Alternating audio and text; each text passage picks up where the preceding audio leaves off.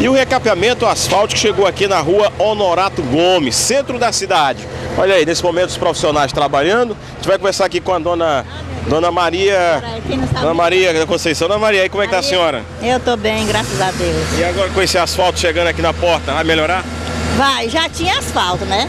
Tava cheio de. Tava, tava meio quebrado, mas tinha asfalto. Aqui não tinha poeira na nossa rua, nem buraco não.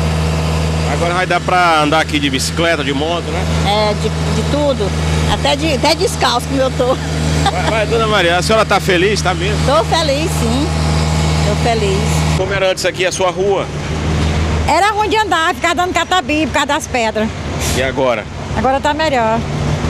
Só falta agora só dinheiro no meu bolso que eu não tenho. Ah, mas vai ter, tá feliz, né? Tô, mesmo assim.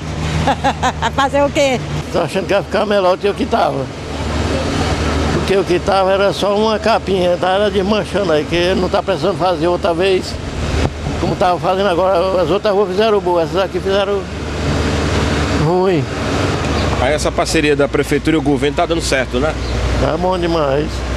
E aqui o asfalto que está chegando é um asfalto de qualidade aqui, ó, na rua Honorato Gomes. É uma rua tradicional aqui no centro da cidade de Presidente Dutra, porque ela interliga aí, ó, ela vai até próximo já lá o, o Socorrão.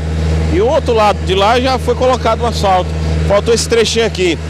Esse é o trabalho da Prefeitura de Presidente Dutra com o governo do estado, que está dando cara nova para várias cidades do interior do Maranhão, levando mais dignidade para a população através do programa Mais Asfalto.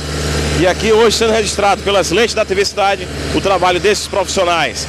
Com as imagens de Israel Delamarques e Roberto Maia para o Balanço Geral.